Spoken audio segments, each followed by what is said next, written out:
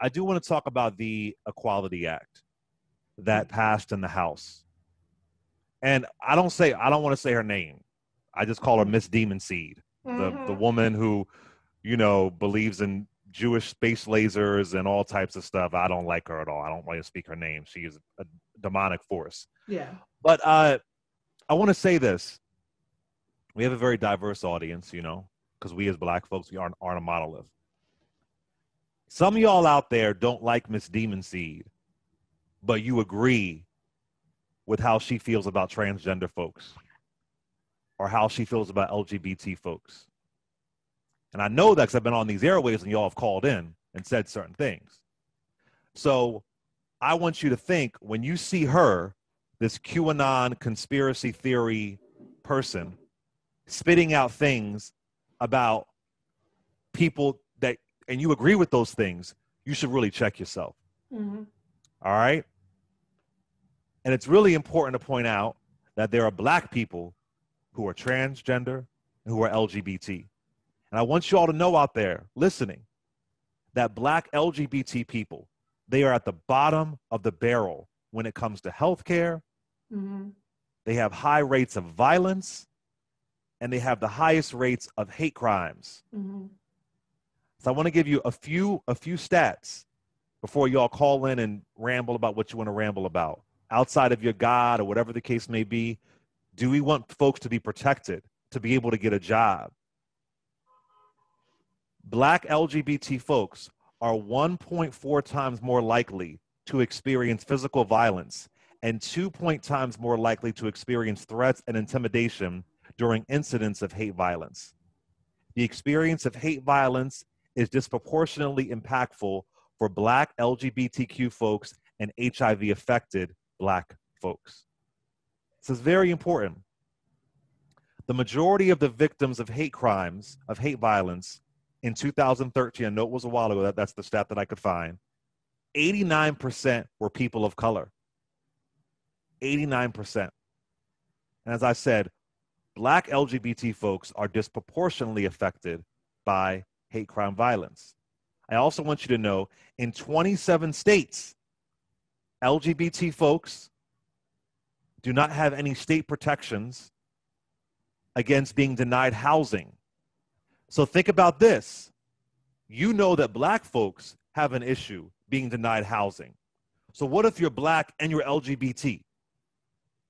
Regardless of whatever God you believe in, I would assume if you believe in Christ, you don't want folks to be denied housing. And now imagine the the intersectionality of being black and being LGBT. In 31, 31 states lack protections regarding access to education for LGBT folks. That sounds like straight out of Jim Crow. Mm-hmm. And 38 states lack protections for LGBT folks regarding jury service, mm-hmm. serving on a jury. That's Jim Crow through and through. And again, there are black folks who are LGBT. In at least half of these states, same sex couples can, can, get married one day and legally denied service at a restaurant or be evicted from their apartment because they're LGBT. How many black folks do you know who are evicted from their apartment or denied service? We see these, these damn Karens. Again, imagine if you're black and you're LGBT. Mm-hmm. So I want you all to know this Equality Act is not a white thing. It's not a white thing at all.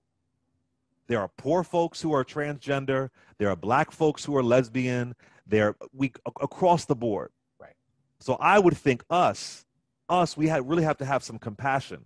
I see some folks on social media saying, "Why are they getting rights like the 1964 Civil Rights Act?" There are black people who are LGBT. Bayard Rustin, who fought for that Civil Rights Act, was a black gay man. Mm-hmm. And if you love black people, you can't throw black folks away. So this Equality Act for me is a good thing. Sadly, I doubt it will go through the Senate. And then that that Miss Demon Seed who put up who put that horrible thing up, uh, male or female, trust the science. What's ironic about that is that when it comes to transgender folks, you should trust the science. According to Harvard, most I'm sure Miss Demon Seed would like Harvard. Ain't a lot of black folks at Harvard. I'm sure she would like it. Uh, it says that science tells us that gender is certainly not binary. It may not even be linear. It may not even be. It's a, a spectrum. Harvard says that. Now, for me, my gender is very binary. For me, but it literally tells us it's not. That is the science. So she is wrong when it comes to that. So I just wanted to say that that I know a lot of y'all have some feelings, and we have to get beyond our own prejudices because you don't know there could be a gay man who's fighting for your rights. Mm-hmm. There could be a trans person who's fighting for your rights. And the Equality Act is a good thing. And I would hope that collectively we can get behind that. So I always want to make sure I remind y'all of black people who are part of this community. And then they experience racism from the white gay community. Mm-hmm. They experience homophobia from the white gay community. There's this thing called the ballroom scene. If you've seen the, the, the show Pose, uh, it's, it's, a, a, subculture of black and Latin folks uh, having their own kind of pageants, if you will. The reason why they began doing their own pageants is because white drag queens in the 1920s would not let them in their pageants. Racism even trickling down to drag queens in the 1920s.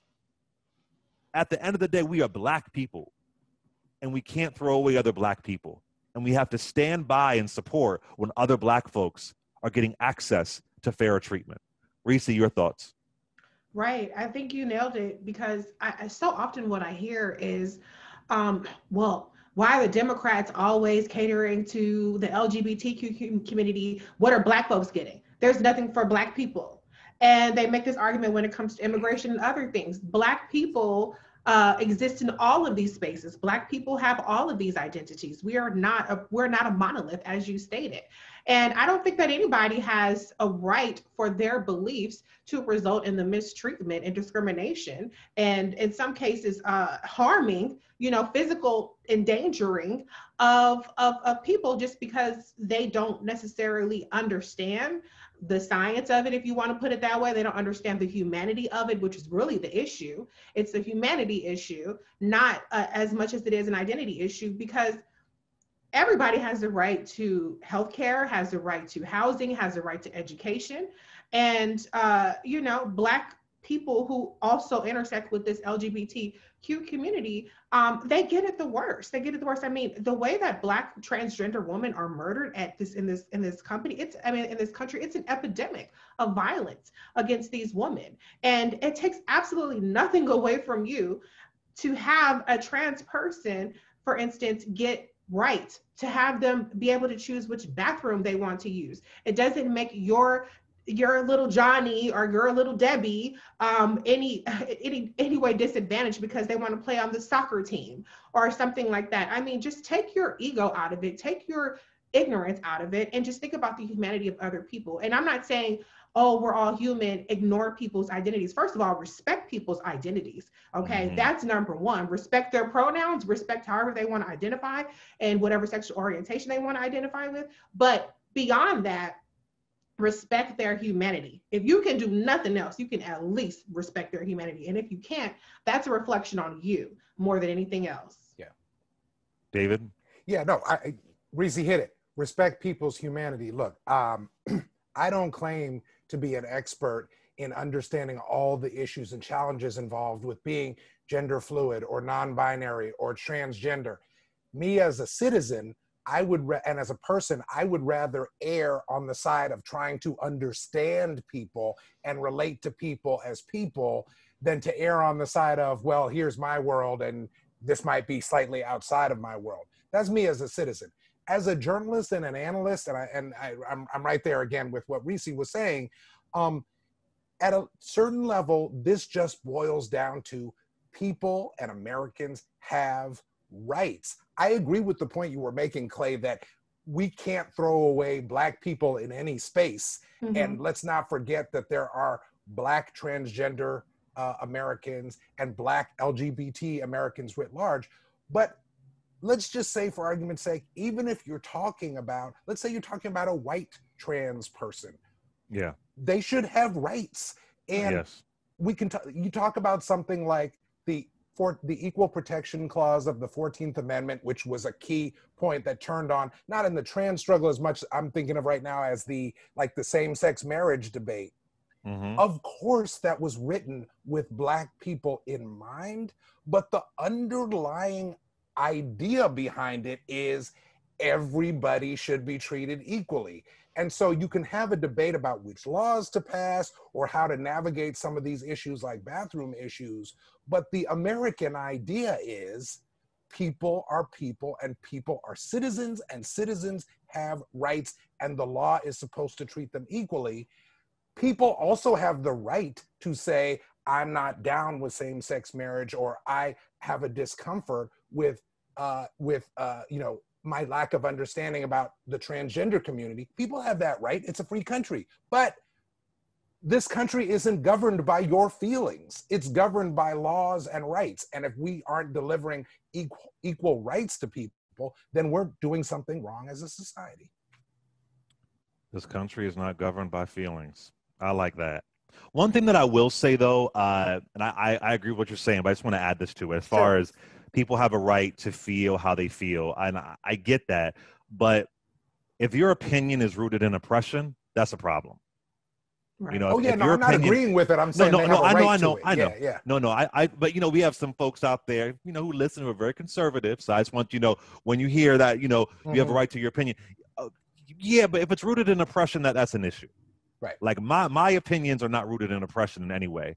I don't want to see, you know, as much as I'm critical of white supremacy and, and white folks, I don't want to see white people lose their rights. I don't believe in anything like that. As much as I, I can't stand guns, and I'm trying to get a gun license now, believe it or not, I don't Mhm. want to see the Second Amendment gone. Like, I mean, I, I, I don't, I don't. That's, I don't, I don't want to see that. That I can't stand guns. I'm afraid to get a gun license, but I don't want to see it go away. So, and also, so yeah, and I, I always say this too. I always say this as well. Disagreeing with somebody, somebody's sexual orientation, is like disagreeing with the sun rising or the sun setting. Right. There's nothing to disagree or agree with. Right. It is the sun rising and the sun setting. There is nothing to agree or disagree with. And if you want to inject your religion, your faith, your conservative values, your Confederate flag, whatever you want to inject in there, there is nothing to agree or disagree with. It is the sun rising and the sun setting. It is as natural as that. Yeah. So, can yeah, I, so- can I can I add ahead, to that please. too? Listen, if you don't want to be involved in a same-sex marriage, then don't do it. That's Right. your personal decision on what you make about your life. That don't have nothing to do with nobody else. Mind your Right. damn business. If you can't do nothing else, you can mind your business. Like you That's said, right. it's not a matter of opinion on what somebody else does. Opinion is what I do. Okay. Mhm. I'm a cis heterosexual woman who's married to a cis heterosexual man. That's my choice in life. Everybody has the right to make their choice. And so I I I'm not trying to I'm not trying to jump on you, David, because I do agree with the whole notion of like, well, you're entitled to your opinion. Right. Ah, you're entitled to live your life in the way that you want to live it. And somebody might not agree with that. And it's not their business for how you live your life either. So I think we have to just we have to be careful about saying you're entitled to your opinion. You're entitled to your way of life, and everybody else is entitled to their Mhm. way of life, as long as Right. that doesn't infringe on somebody else's rights um, to, you know, to to have all the things that are in the Constitution or just our hu- human rights. Right. No, I agree, I agree with. I think that's well said. Um, and just you know, since we since you took it down this road, I'm just going to say right, just to emphasize. Right. I look at myself and I say, okay, as a cisgender, heterosexual, married, middle-aged guy, um, you know, the world is made for me in a lot of ways. And again, I would rather err on the side of saying, let's make the world a place where everybody has access, where everybody has opportunities, where everybody has legal rights, rather and and let's work let's have a world where people understand people even if they're not part of their worlds Mhm. rather than uh rather than saying oh well i have this or that bias and therefore i don't want people to even have rights or opportunities. It it, it it's a it, i think it's a narrow-minded way to look at it and i will just say that um Reese, you made this point a minute ago um it shouldn't be zero sum if if if a party or a president works for the rights of lgbt americans that's not taking anything away from whatever is being done or not done on behalf of African Americans or other communities.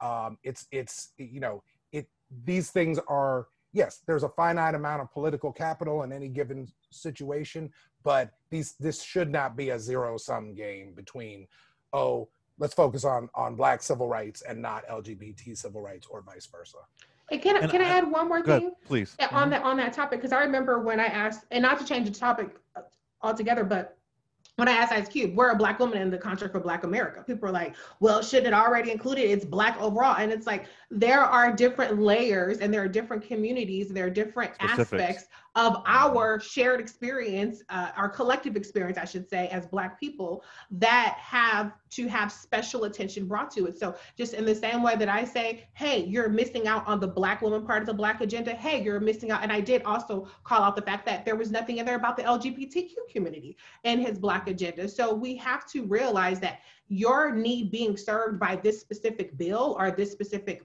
uh, particular advocacy um, not being met is not the same as the community's need because all of these things have to be addressed.